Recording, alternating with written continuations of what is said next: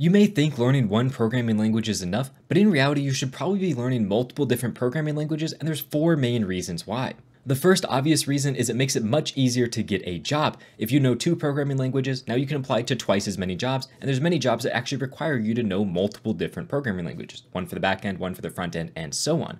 Another huge benefit is that now you can see multiple different ways to do the same thing. For example, Rust and TypeScript are going to do the exact same thing in different ways. So now you can see both of these different approaches to solve the same problem, and you can use them inside of whatever programming language you use. So you can take Rust specific things and incorporate them into your TypeScript programming. This is why we have object-oriented and functional programming languages, so you can really kind of play around with both of these in different languages if you know how they both work. Different programming languages also excel at different things. Rust is a much faster, lower level language than TypeScript, but TypeScript is something that's much easier to use in the web. So you can use these different languages for their specific benefits, and learning multiple languages actually can help you with getting over burnout. Because if you're just constantly in JavaScript and TypeScript over and over and over again forever, you can get burnt out on JavaScript. But if you now have Rust or PHP to fall back on, you can say, I'm a little burnt out on JavaScript, I'm gonna go do some Rust work. And that can reinvigorate your passion for programming. Now there's a ton of other benefits as well, but if you're really looking forward to actually learning a second language, I highly recommend checking out my full video on how to learn a second language. It'll be linked right at the bottom of the screen.